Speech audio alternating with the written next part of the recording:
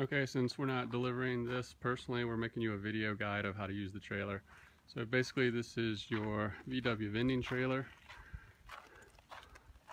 It has a real antique lock on it, which is touchy. It is a simple quarter turn to unlock it. So insert, quarter turn up, push the button, it should open. There it goes. If the lock stays out like so, simply flip the switch, you see it drops back in and is flush. Before stepping in the trailer, because this trailer is so light, if you step in there and weigh more than about 150 pounds, you will launch the front end up. So what you want to do is grab your leg jack. The leg jack is extremely simple. Come to the rear of the trailer. You'll see that I've already got it down. I've been in the trailer. Simply insert it in and crank up or down, left or right. There are four. One, that's the up position on the rear, and there are two on the front. Definitely want the rear ones down anytime you're in the trailer and it is not hooked up to a vehicle because the nose can go up on you. You definitely want them up, all four, when you're moving so that you don't catch them on anything. It's very simple to operate. It's just a simple twist. So once you have at least one rear leg down, you can go into the trailer it's a very simple trailer. We've left some cabinets in there. If you don't need them, you're welcome to throw them away if they're in your way. We've left you a few supplies that you will need. First thing you want to do is go up with the roof. It's very complex. Press up. You'll see the roof opening slowly. It has a brand new AGM battery. I installed it today. So you should be good to go, no problem.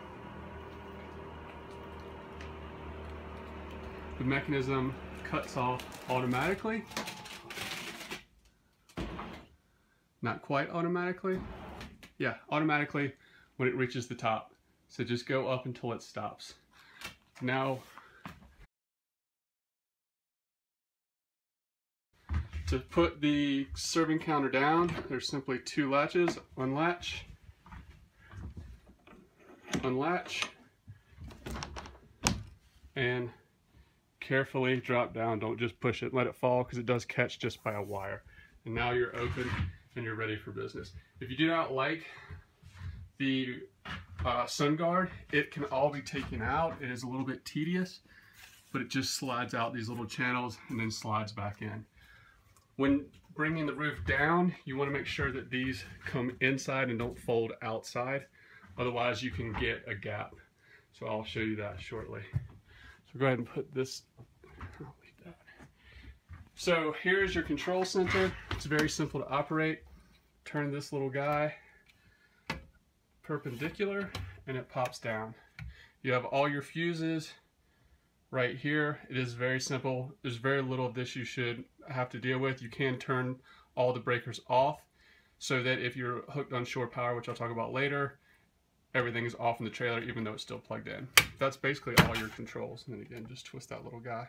If you need to get in to the CPU, there's no good way to do it. Just kind of put your fingers underneath there and just tug a little bit and you'll feel it pop out. And there you go. It is very simple. Like I said, this is a brand new battery. Just installed AGM deep cycle battery. It is made to run the canopy. It does not run the outlets. Just slam that back. You have outlets here at the nose and again at the nose. So that's six total outlets. They all run off of shore power. That brings us to our power cords. This is just an ordinary extension cord. You can run it to plug it into the wall or you can plug it into a generator. This is your proprietary cord. This is basically an RV type of hookup. So what you do is take this to the front of the trailer and you'll see this little hatch. Pop the hood on the hatch, line up the, um, plugs here better than I'm doing. There it is. There's one that's, this is your mark, sorry. This is your, your marker plug, and you can see it's got the similar little notch. So once you get that plugged in, screw that on. Simple, ordinary plug. Make sure to remove that for travel. Towards the nose, I'll give you an idea. This is, we have this as a theft deterrent. This is not theft proof. If you have it in a lock, you'd want something a little more robust than this because this could be banged off with a hammer. Your chains for assembling to the trailer or for attaching to the trailer. This is a seven pin um, harness right here that will go into your tow vehicle. This is a modern called seven pin or RV style. This leg system, you pull this pin when you have it hooked to the car and the leg system simply folds down flat and is inline. It does not stay like this, it turns perpendicular. Give you an idea of how um, light this trailer is. If I didn't have the back leg down, I'd lift it up.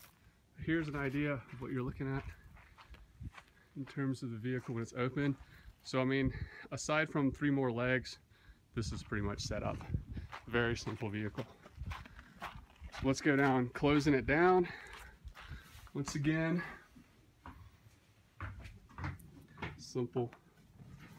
One person can just pull the decking up, making sure these wires don't get caught inside. You have a simple latch. A simple latch. Clearly on this side, you're gonna need to pull forward just a little bit. There you go. So now the tricky part, lowering the roof. You will see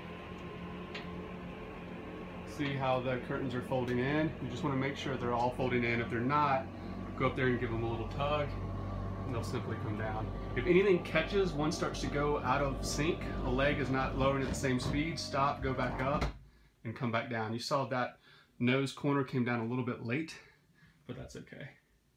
And it turned off automatically, so I didn't over lower it or anything like that. It's good to go. Then you want to do a little quick check. Make sure no fabric is coming through anywhere and you're good to go. Yep. I've left tape on. This is for the monitor mounts. I don't want any water to get in here in transit. I don't know if it'll do anything, but let's just keep it out. So when we send it back, we can tape up those holes again, just with any kind of tape. This is vehicle wrap. Actually, use the vehicle wrap. I'll leave some in the vehicle for you and you'll be good to go. That way it won't leave any adhesive or anything like that. But underneath there are those just those little holes that we discussed. Locking the vehicle is fairly simple.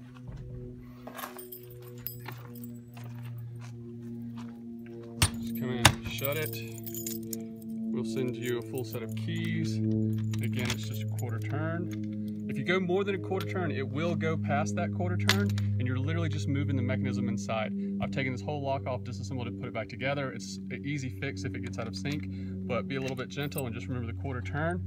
Now you push and nothing happens. Up and you've got your rear access. So 90 degrees. You can feel it catch when it's when it locks. There you go. Is a simple latching mechanism and then once you have it 90 degrees, turn the key 180 degrees, that bad boy is locked. You're good to go. And the trailer is locked up.